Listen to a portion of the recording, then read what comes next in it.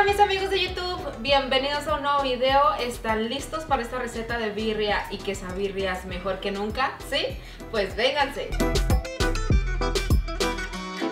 Vamos a comenzar por sacar la olla más perrona que tenga en su casa, la más grande. No importa que esté bien usada como la mía. Le vamos a poner agua aproximadamente a la mitad de la olla. Le vamos a poner una cabeza de ajos completa. Solamente le cortan la parte de arriba también le vamos a poner una cebolla entera, solamente con un cuchillo le vamos a dar así unos piquetitos para que saque todo el sabor. Le agregamos dos hojas de laurel y vamos a esperar hasta que el agua empiece a hervir. Mientras tanto les voy a mostrar la carne que vamos a usar, es carne de res. Aquí tengo diezmillo que ya lo tengo cortado así en trozos grandecitos. También le voy a poner chambarete o carne para caldo, como ustedes la conozcan, es este corte redondo con este huesito aquí. Y también le voy a poner costilla de res. Miren, estos dos pedacitos de costilla. O le pueden poner costilla cargada. La costilla cargada es un huesito como esto, pero trae más carne. Aquí lo importante es ponerle algo de huesito para que esta birria quede bien rica. Y la cantidad de todo esto son como 8 libras, que serían como unos 4 kilos. Ahora lo que voy a hacer es llevarla a darle una buena enjuagada. Ya que el agua está hirviendo, vamos a empezar a poner la carne. En la cajita de información les dejo las cantidades exactas de cuánta cantidad estoy usando de cada corte. Esperamos que la carne se cosa por una hora y media y ya si suelta la impureza, pues se la van quitando. Necesitamos de 18 a 20 chiles guajillos, 2 chiles anchos, y yo le voy a poner 10 chiles de árbol, pero esto va a ser completamente opcional si no quieren que, pues vaya a picar. Aunque realmente con esos chiles no pica, solamente es para darle más sabor o simplemente le pueden poner unos 4. Y los chiles ya los tengo limpios sin el rabito y la semilla. Y como estos chiles no los vamos a lavar, con un trapito húmedo de cocina hay que limpiarlos. Así, que el trapo esté húmedo y hay que darles una pasadita para quitarles la tierrita. Miren así. Yo ya tengo todos los chiles listos. Y las especias que le vamos a agregar a los chiles son media cucharadita de comino entero, 10 pimientas gorda o pimienta bola, 12 pimientas negras, 5 clavos de olor, una hojita de laurel, media cucharadita de tomillo, una cucharada de orégano, una cucharada de ajonjolí tostado, así ya lo encuentran. Si no lo pueden tostar un poquito en un sartén y un pedacito de canela. 5 dientes de ajo, si no les gusta mucho el ajo, por lo menos le pueden poner 3. Sal al gusto, un cuadrito de consomé de caldo de res y le vamos a poner jengibre o jengibre, como usted le diga. De eso van a ocupar un pedacito de unos 2 centímetros, le quitan la cascarita, pero yo aquí lo tengo en pasta y le estoy poniendo más o menos una media cucharada. Y ya de último una cucharada de vinagre blanco y también la mitad de una tableta de chocolate. Esa tableta es de 90 gramos, solamente la mitad. Ahora en un sartén vamos a ponerle un poco de aceite. Tengo la estufa a temperatura media para que los chiles no se vayan a quemar y solamente vamos a ir poniéndolos, dándoles una pasadita. No los dejen mucho tiempo porque recuerden que si estos chiles se queman pues va a quedar todo amargo y todo lo que hicimos pues no va a servir para nada porque los chiles va a hacer que la birria quede bien amargosa. Así de amargosa como las suegras, nada, se crean. Solamente una pasadita. En cuanto el chilito cambie de color y lo vamos sacando, este paso lo pueden omitir y simplemente poner los chiles a cocer por 10 minutos, pero créanme que esto hace que le dé otro sabor mucho más rico.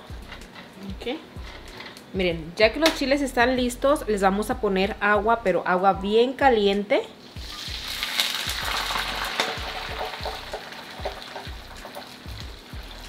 Voy a regresar los chiles que ya había sacado. De agua pónganle más o menos hasta donde tapen los chiles.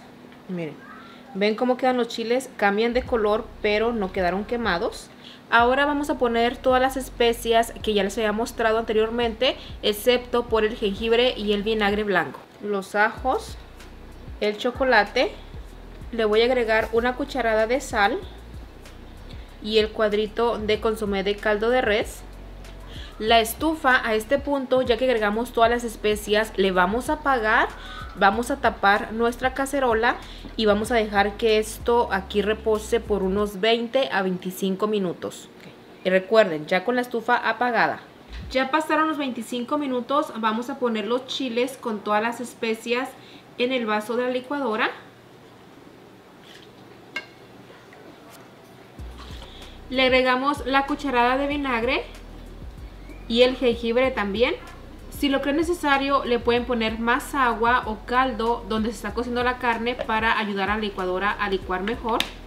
Ya pasó la hora y media, casi dos horas. Ahora sí vamos a sacarle la cebolla, la cabeza de ajos. Y si encuentran las hojas de laurel también las pueden sacar.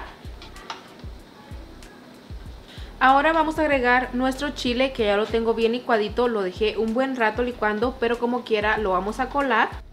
Le vamos a poner agua caliente al vaso de la licuadora para ayudar a colar mejor y también para que salga el restante.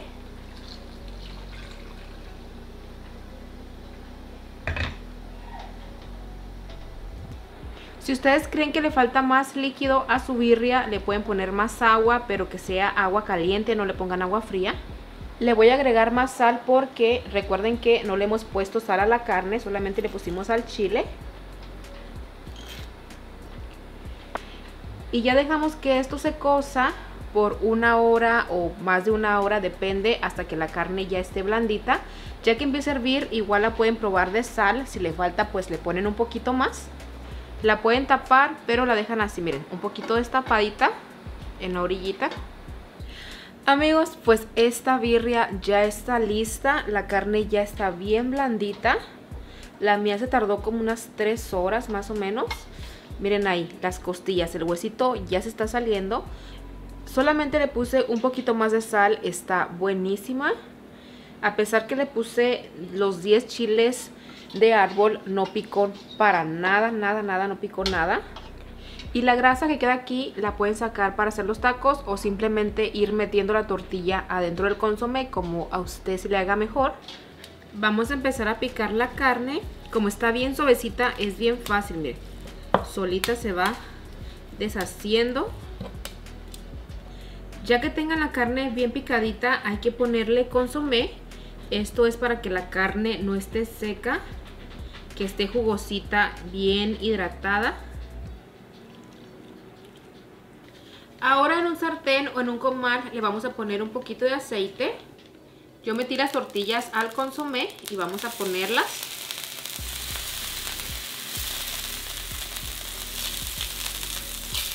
Ustedes deciden si quieren hacer los tacos de una sola tortilla o los quieren hacer dobles como los tacos pecadores que hicimos en el primer video de birria. Yo sí los voy a hacer doble y le voy a poner queso Oaxaca le ponemos la otra tortilla por encima. Miren, igual solamente los pueden hacer de una tortilla. Aquí tengo esta botella que compré y le puse aceite regular para ponerle aquí los taquitos y queden más doraditos. Vamos a poner la carne.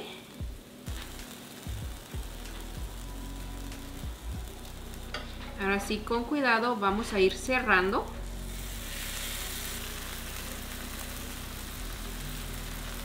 Le pueden poner más grasita de la carne para que queden más rojitos.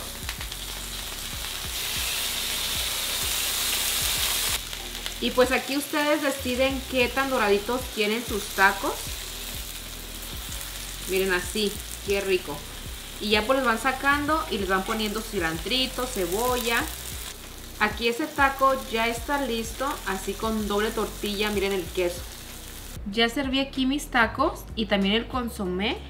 Vamos a ponerle cilantro y cebolla.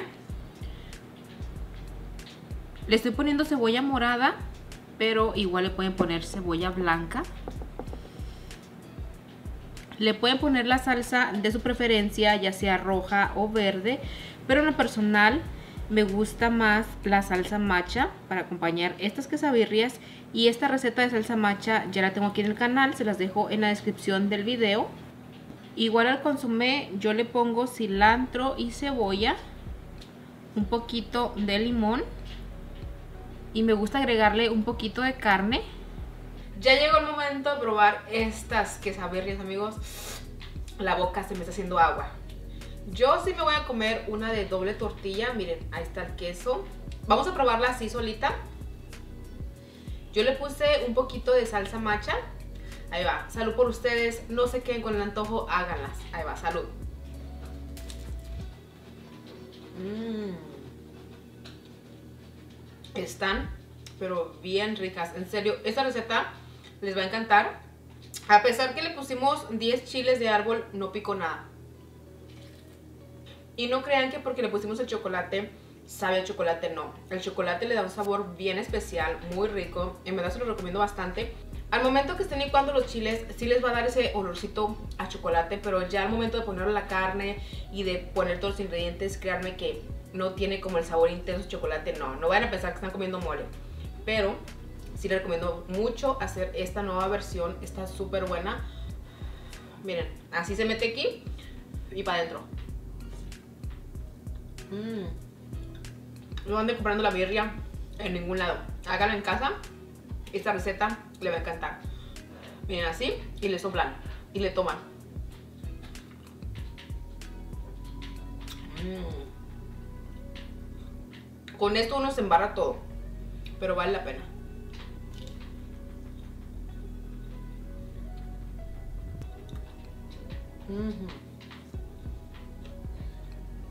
La mejor.